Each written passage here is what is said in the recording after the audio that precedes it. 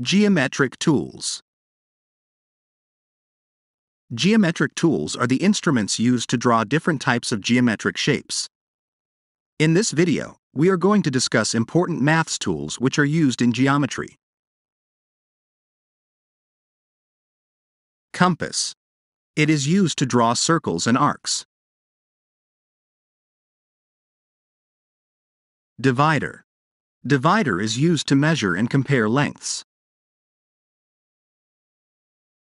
Ruler. It is used to construct straight lines and measure the lengths of a line segment.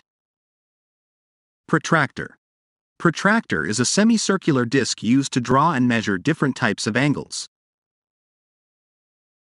Set squares. There are two kinds of set squares available in the toolbox. One has an angle of 45 degrees and the other has 30 to 60 degrees. With the help of set squares, we can draw parallel lines, perpendicular lines, and make some standard angles. Pencil. Pencil is used to write letters, numerals, and draw figures. Eraser. It is a tool used to erase mistakes made with a pencil.